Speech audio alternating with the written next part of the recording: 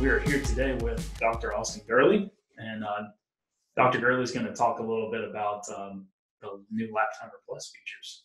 Um, so not only what they are, but explain a little bit of the substance behind what is predictive lap timing, how is it calculated. This is something that in the industry in general, I'm, I'm sure you agree with me, that not many people, um, companies that produce this type of technology, talk about what it actually is. Yeah, definitely. So there's going to be very little references on this exactly how you get that number to show up on your display of what is my delta time or what is my predicted lap time. So we're going to actually show you show you guys that today. Yeah, exactly. And we all know anytime you're trying to drive faster, it's always good to know why you're trying to do what you're trying to do and what the references for the tools you're using uh, underline. Like fundamentally, what are they?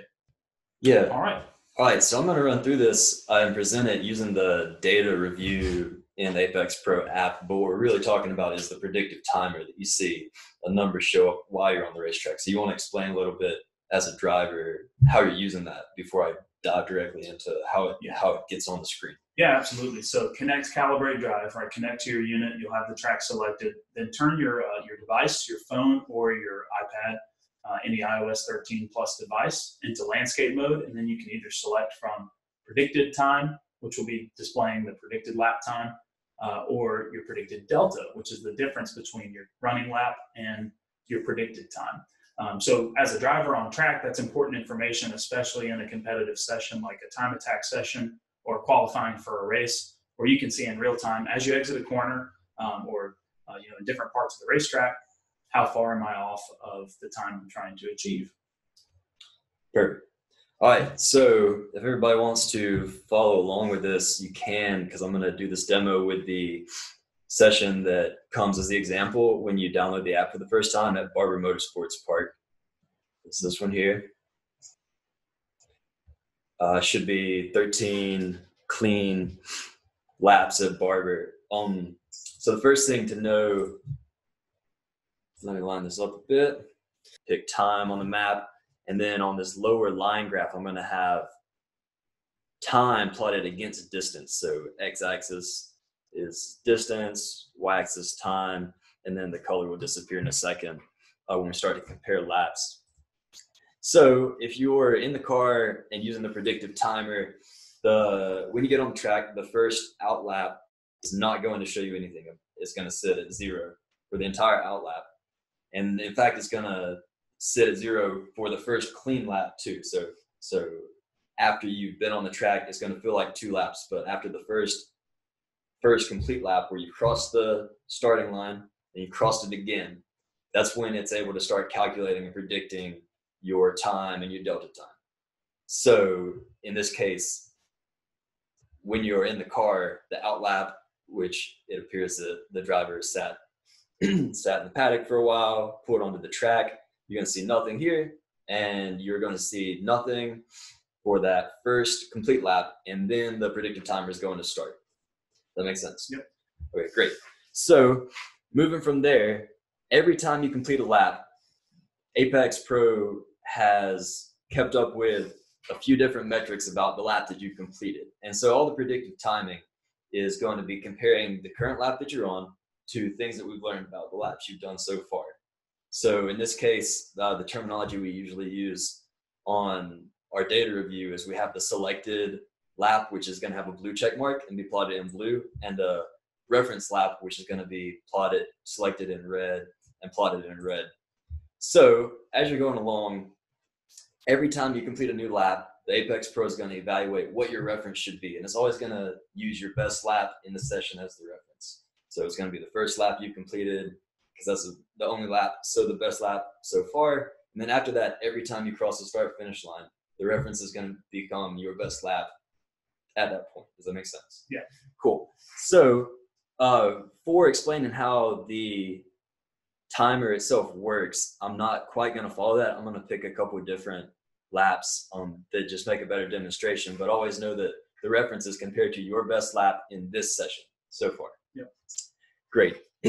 so start out, I'm going to make lap number nine our current lap and lap number one our reference. And I did that. If people haven't seen this, you can make a reference lap by by pressing and holding on any lap, and it will put a red check mark next to it. you can press and hold on it again to deselect it and get back to the colored Rainbow Road overlay. So just looking at these two, um, because I looked at this a little earlier, and this this is for a nice demonstration. And then again, we have on the map, we're plotting time just as a convenience, and on the line chart, we're plotting time versus distance. And this is the kind of heart of how the predictive timer works is we're looking at any point on the wherever you are, we want to compare what your time is on this lap at that location on the track with your time at that location on your best lap so far. So, so you know, several things I'm saying there. So we'll kind of look in detail at a few places on the map. So I'm going to move our little markers forward a bit. So coming down the hill here, let's see. So can you see, can you highlight this? Right there. Yeah, right there. Okay, cool. So um, we recently added a few markers on the um on the chart here. Actually, I'm gonna move further along so I get a bigger number. Let's go there. All right. So we've got, we got a few markers on the screen so you can see how on the map overlay you can see your time. And since we're plotting where you are on the track against your time, these times are almost identical. Uh, they should be within a hundredth of a second the same because again we're looking at two cars the same time since the starting line. Right. Where are they on the track? And you can see that our blue car from lap nine is is in the lead. If there were two Yep. cars on track, Right. he's in the lead. And you can see that it's it's hard to see, but you can see in the lower chart it's presented a little bit differently. So when you plot on a line chart against distance, the two laps are going to be synchronized to the distance that you've traveled, which is a lot like what we're about to get into about how the predictive timer works. Is you're saying at a particular distance from the starting line, what is the metric that I care about? Yep.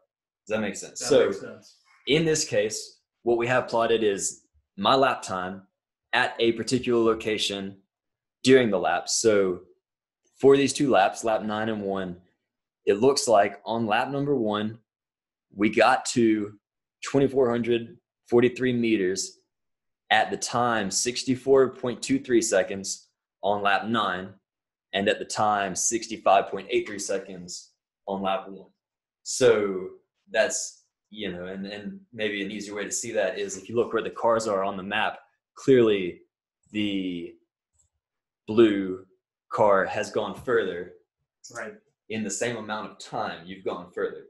But if you looked at the distance, the plots aren't quite the same. You look at the distance, that means that that car has gone further in the same amount of time, or at this distance, I've gotten there in less time. Most time. And it's and that's the reason having a predictive timer is not a trivial manner because it's a flip between time marches forward smoothly, but because your speed is changing as you go across the track, it is rather hard to keep up with how far you've actually traveled. Right. But that's the heart of the predictive timing is saying at this location, compare my time to something else. Yeah. Kind of a, a backwards idea. Yeah, yeah, it's, all it's not sense? exactly something straightforward to Yeah. understand. Would you say that it's important when people are reviewing laps like this to keep everything kind of succinct and, and easy to understand that the faster lap is usually selected as the blue check mark? Yeah, yeah, that's exactly. Um, Okay. well, however you want to think of it. Personally, sometimes I think red for reference is a nice way. So maybe maybe red for reference or blue as the reference. It doesn't it doesn't matter. It's up to you. Right. Um, Just have to make sure just you have to which know one which one we're talking about. Right. Yeah, and so in this case, lap nine is the fastest lap that we've done that we've performed on this track. So it is going to be the reference. So if we had a delta timer, um, after lap nine, it would know that that was our best time, and it would be using that as the reference. So that's exactly Yep. that's exactly right. Um, and I only picked these two laps because lap one was slower, uh, and it makes this next thing we're going to look at a little more obvious. So, uh, pardon, I'm going to flip the line chart to the gain loss channel. And a lot of people have seen the gain loss channel. We've had that for several months actually before the lap timer plus, but it's, it's very closely related to the predictive timing. The difference is that the gain loss channel is it uses the entire session that you've recorded and it goes back and is able to calculate your time distance, your pardon, your time difference at any place on the track based on the complete lap. But while we have the predictive timer in the car, you haven't completed the lap yet. So it's a slightly different calculation.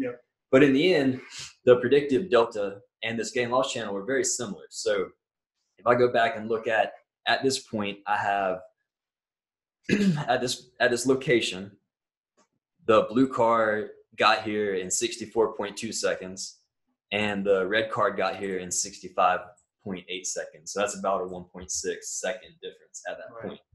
And if we go and look at the gain loss channel, we should see that exact difference. If you can highlight the number that came out, yeah, that location and that number, um, you can see that that's exactly the gain or loss between the two cars at that location. Yep.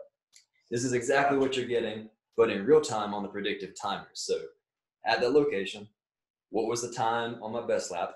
What is my time now? And there's a difference between the two. And that would be your predictive delta. If we want to extrapolate that to give you a predicted lap time, it's it's very similar. We take that number and simply add it to your best lap time so far, which will tell you by the time you get to the end of the track, if you run the rest of the lap as good as your best time, what do we think your lap time will be? Right. But the heart of it, it really starts with calculating this delta between the two, and then you can present it however you. And it's really very simple when you think about it. It's called predicted lap. So we're basically using what we already know to predict a lap time. So in this case, we know how far you've traveled or how much time that's taken you to travel versus the best lap that you've done so far. That's right. And in this case, we know that you are 1.6 seconds slower on this. So your eventual predicted time is probably 1.6 seconds slower than the best lap so far. Right. Does that all make sense? And this um this set of laps that we picked are more obvious. So I'm going to switch to using, let's say now that the reference um is nine, and the lap we're looking at uh, we can we can do 10. So let's do this. So now the the red is the reference and blue is our current lap which this is this is exactly what the predicted timer would have done it would have seen that your best lap so far is lap 9 and then on 10 11 12 13 is going to keep using lap 9 as the reference because the that's your best Right. Exactly. And so you can see here, if we look at the time, um, we can say again at the same point, the difference between the times is about 0.54 or so.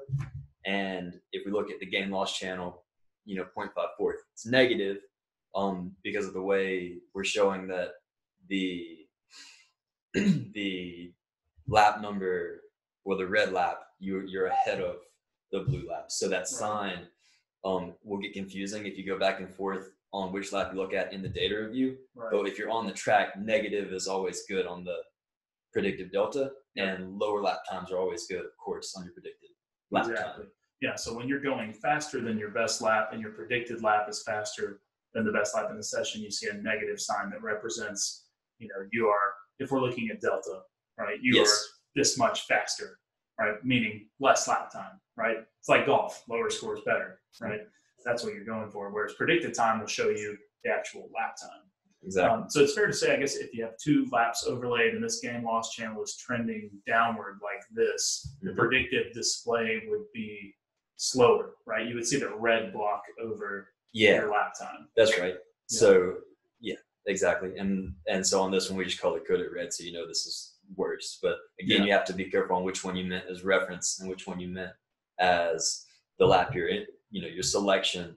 So it's really best if you just compare it to the map picture where you can see which car is in the lead, and it's very obvious which which one is which. Yeah, yeah, that's great advice. Yeah. I think that makes a lot of sense. So we learned some stuff about predictive. I think a lot of people probably assume that predictive is working off of some different, you know, sectors on the racetrack, or it's it's doing a lot more or a lot less than what they might have learned here, right? It's it's complicated at the same time. Yeah, for sure. And there are there are different ways to calculate this. So um, some people do it where instead of counting the distance you traveled from the starting line, they'll start the distance counter over each time you cross into a new sector. Um, that requires that the that the device is creating this in real time knows the sectors already. Right. Um, it's it's in our testing less accurate if you're automatically trying to generate the sectors. It's less accurate than if you do it our way. Mostly because we have um, some pretty good math behind how we calculate the distance, which is Yeah. which is a bit better than uh, most data systems, which would just add up the distance between GPS points, which is which is lossy. um, all the noise adds up to creating an error in our system. It's just more refined than that. And then some people uh, claim to have a GPS location based distance tracker, and they won't tell you how they do that. So that would be VBox. Um, Yeah. claim to have a different technique. Uh, we've played with that. We haven't seen any improvements and over over this technique. It's it's pretty clear what it's doing, but because our distance measurement is accurate, I think our predicted times are accurate as well. Yeah, absolutely. I've, I've used Lap Timer Plus on the racetrack already, and I can say that to me, in, in the car, you're not looking for a, a finite amount of resolution where it's not important for you to know, am I a thousandth of a second faster hmm. or slower? You basically want to know, are you trending upwards or down? Are, are you trending faster or are you trending hmm. slower? Exactly. right? And it needs to be obvious. The value is, is less important than the fact that you know I just did something that created uh, a faster lap time potentially mm-hmm. or a slower lap time. And that's really all we need to know when we're in the car. and it's something you can use in tandem with the apex lights as you get up to the corner that you're worried about check your predictive time start paying attention to the apex predictive um, performance meter as you go through the corner and then check whether it worked in in seconds or not by looking at the predicted timing at the end of the Yeah. at the end of the sector Absolutely. You know, at the end of the day, it's going faster is all hinges around technique improvement. Mhm. Um, the lap timer features are obviously showing you whether you're faster or not, but they don't give you any indication as to your technique, which the Apex display, the Apex score, uh, and all the metrics that we promote and talk about in data review does. Um, so this is definitely oriented towards those of you that are searching for some lap time, or if you're just curious to know. A lot of people say I'm a driver based on feel, right? I just do it because I feel it.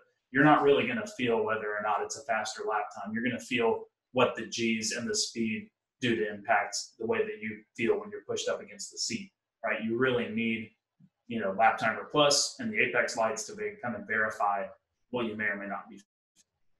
Awesome. Great. I think that's everything I wanted to get across. I appreciate you joining us. yeah no problem Yeah. Uh, guys, will be uh, check out uh, Lap Timer Plus. It is available as an app upgrade uh, in the app, so make sure you go and subscribe. Again, it's $4.99 a month or $49 for the year. Uh, we definitely recommend if you think you're going to want to use this a lot, which you all will. I guarantee it. It's uh, it's very helpful. $49 for the year. Get yourself a little discount, and uh, we'll see you at the racetrack. all right cool.